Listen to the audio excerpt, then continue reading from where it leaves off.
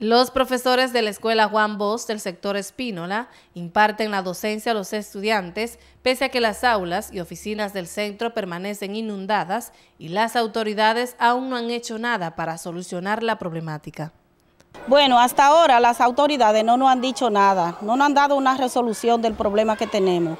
La escuela eh, hoy, lunes, está inundada. Llovió, me parece que fue el viernes en la noche y todavía el agua está cayendo aquí en la dirección y en, toda, en las aulas. Eh, tenemos una situación bastante difícil, ya que las autoridades no nos dicen nada y nosotros estamos en espera. Nosotros no podemos trabajar en esta situación que tenemos. Nosotros esperamos que las autoridades lo más pronto posible nos solucionen este problema que tenemos.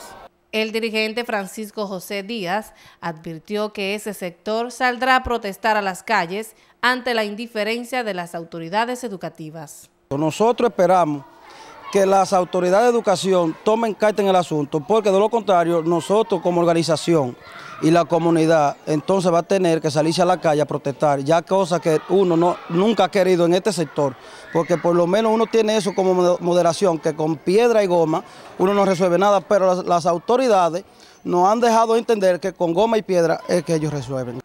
NTN y Dalmis Arias.